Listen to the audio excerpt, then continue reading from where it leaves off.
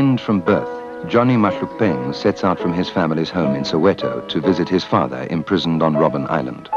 Accompanied by his future wife Ellen, on this, his second trip to the island, the prime purpose of this visit is to introduce Ellen to his father and obtain his blessing for their wedding.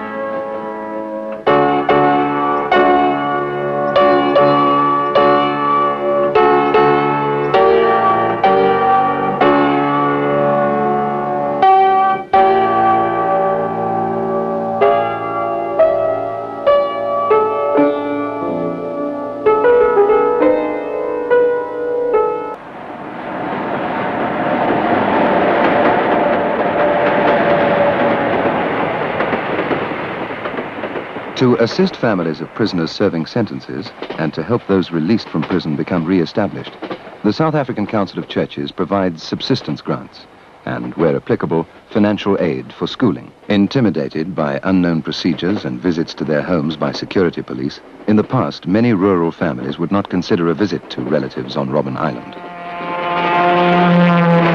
Encouraged by counseling and home visits from Dependants' Conference workers, visits from these families to relatives isolated for many years on the island are now successfully facilitated.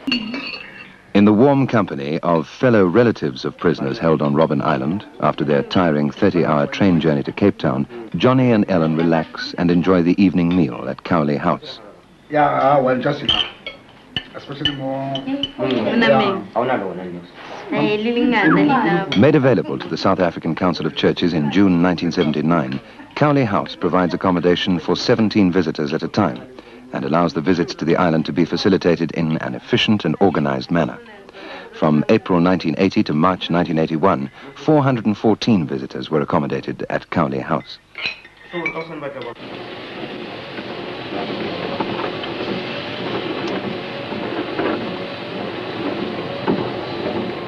After serving their sentence on Robben Island, many political prisoners, upon release, are banished to remote areas in the Bantustans.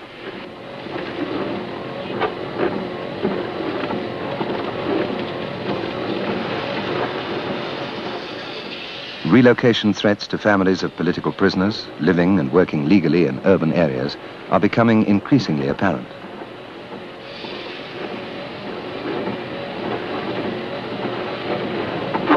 Recently, the parents of three members of the Soweto Students' Representative Council, imprisoned on Robben Island, were told to begin building homes in the Bantustans in preparation for the release of their children.